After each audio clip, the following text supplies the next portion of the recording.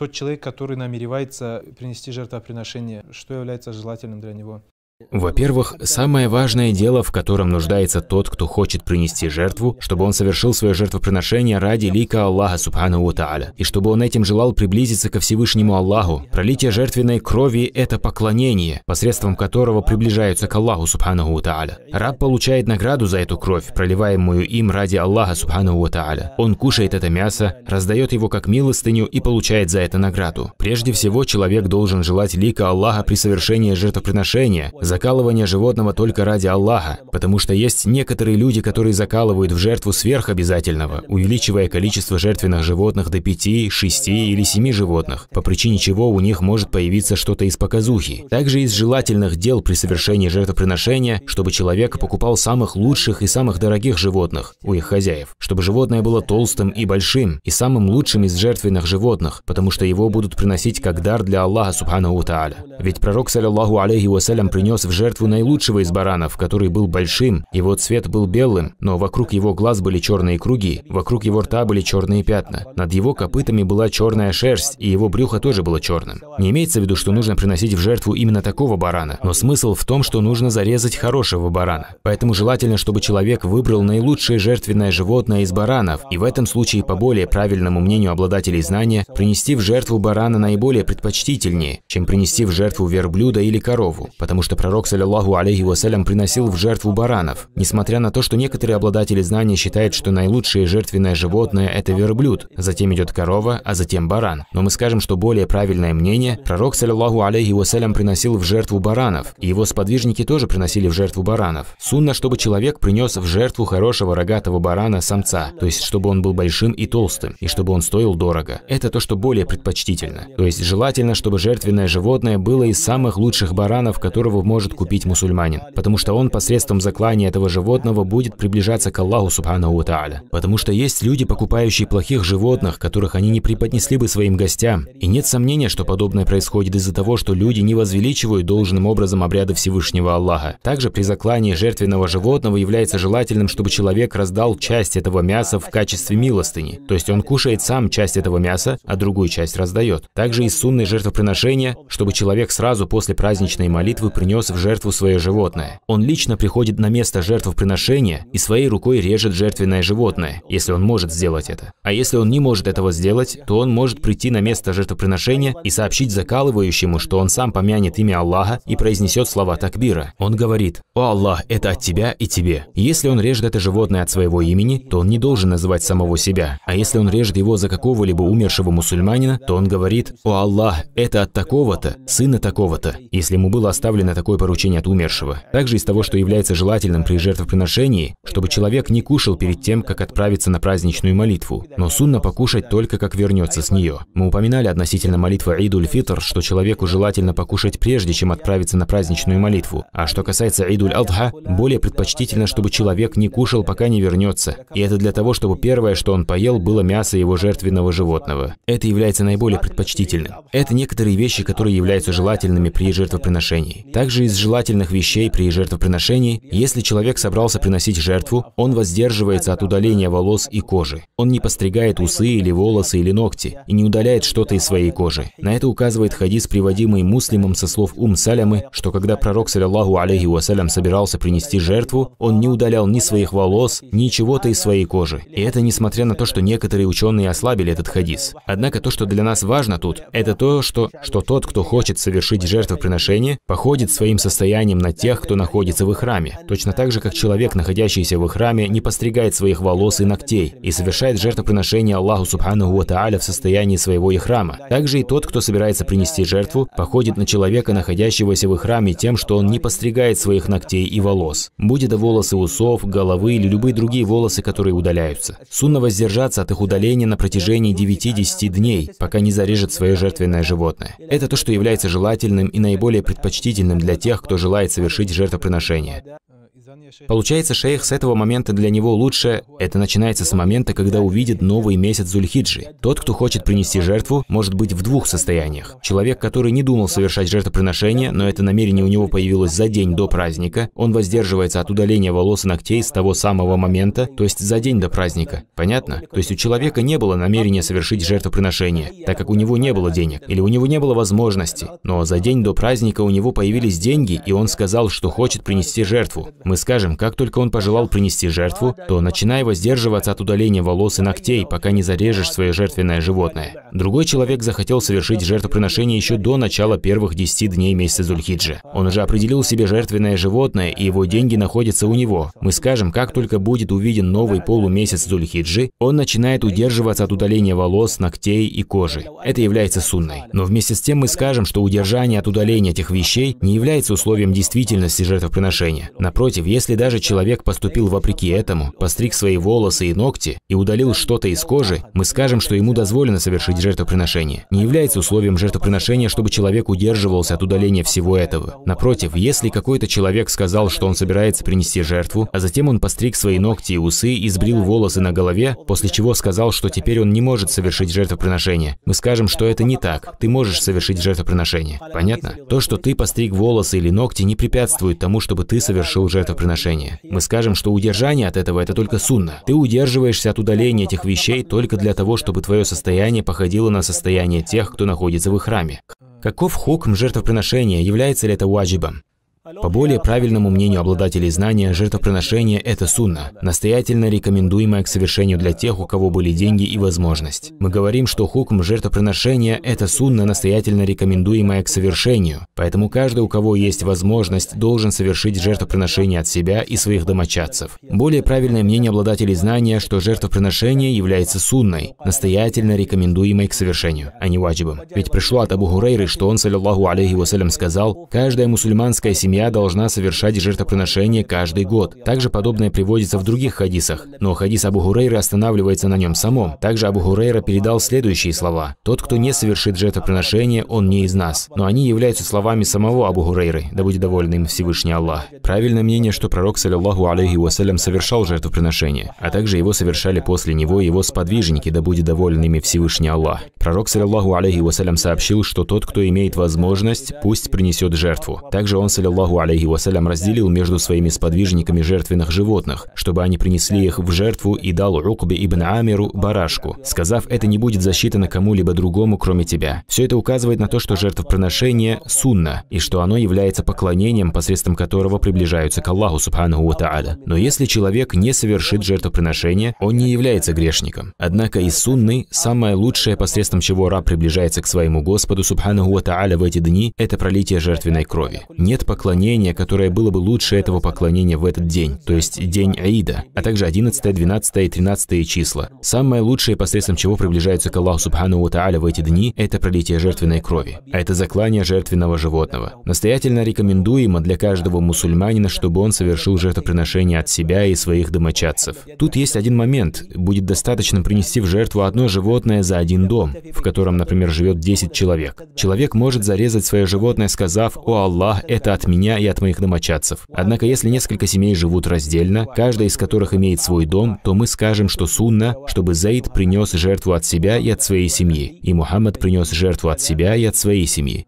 Это поклонение не относится только к мужчинам, ведь так? Женщине также дозволено совершать жертвоприношения от самой себя и от своих домочадцев. Например, какая-то женщина вдова или разведенная, или у ее мужа нет денег, или он сказал, что не будет совершать жертвоприношение. В таких случаях женщина совершает жертвоприношение, и она говорит, «О Аллах, это от меня и моих домочадцев». Таким образом, она режет жертвенное животное, или же она поручает это тому, кто зарежет за нее жертвенное животное, сказав, «О Аллах, это от такой-то и от ее домочадцев». Ее муж также попадает под эту награду, следуя в этом за ней. Также, шейх, вы упомянули, упомянули, что жертвоприношение и пролитие жертвенной крови – это поклонение. Вы упомянули это. Однако это у нас является большой проблемой, потому что многие люди совершают это как обычай. То есть они не понимают, что это поклонение, подобное молитве. Напротив, они совершают это как обычай. Не могли бы вы разъяснить этот момент? Пролитие крови жертвенного животного, будь это сделано как жертвоприношение или как дар, что совершает в Мекке, это поклонение, посредством которого приближается к Аллаху Субхану Ва Как сказал Всевышний Аллах, «Мы даровали тебе Аль-Каусар,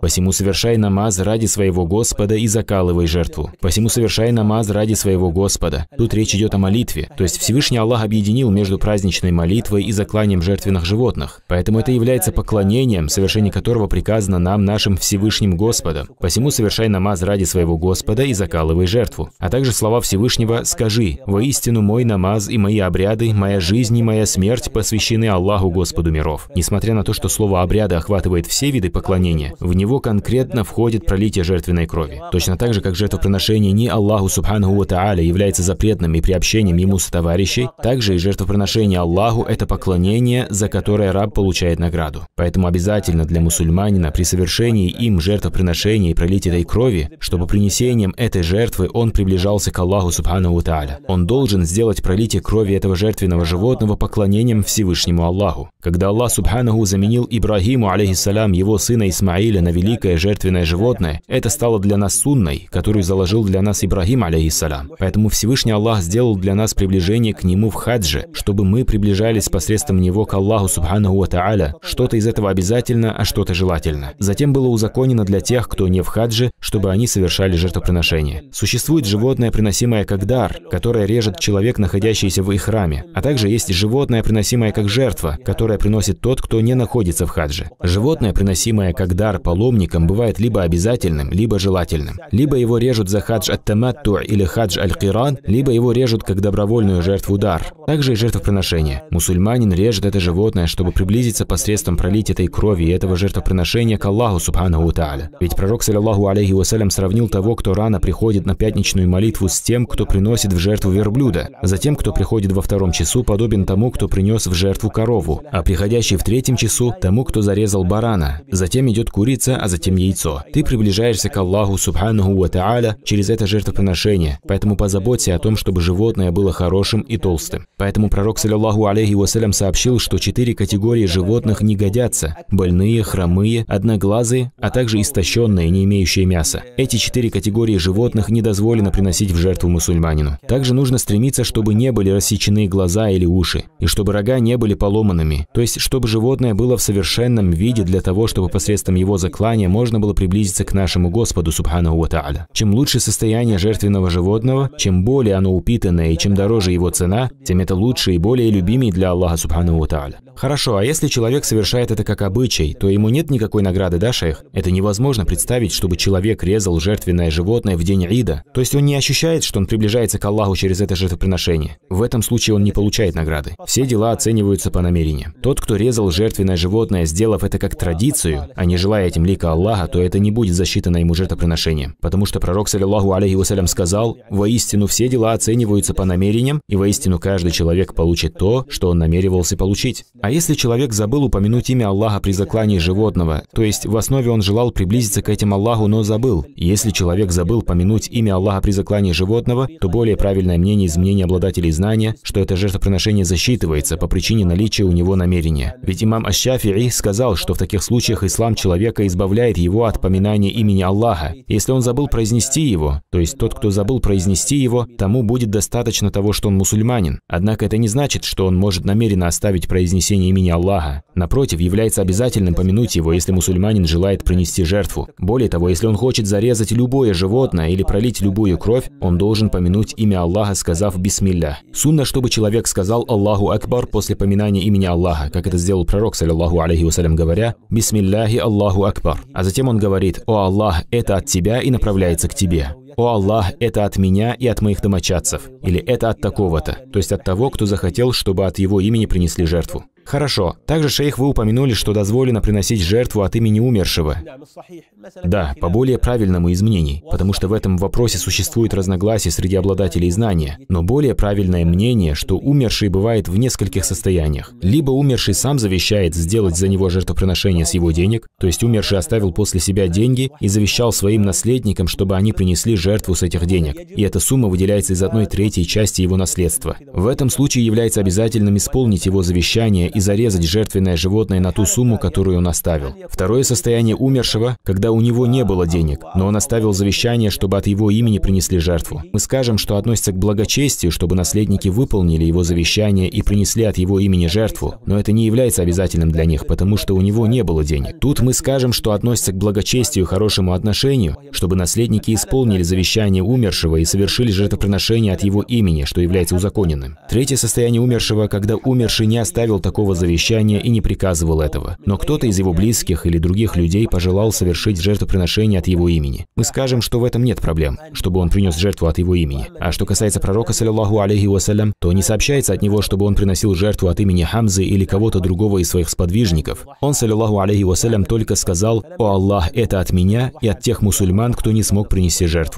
Однако остается, что это дело считается благочестием и праведным делом, поэтому нет проблем в его совершении от имени умершего. Человек совершает его либо как благочестие, либо как исполнение завещания умершего, и оба варианта являются дозволенными. Первый вариант является узаконенным, то есть завещание этого дела узаконено, и в этом нет никаких проблем. Но вопрос заключается в другом, когда умерший не оставил подобного завещания. Является ли узаконенным для нас зарезать жертву от его имени? Мы скажем «да», является узаконенным для нас совершить жертвоприношение за этого умершего.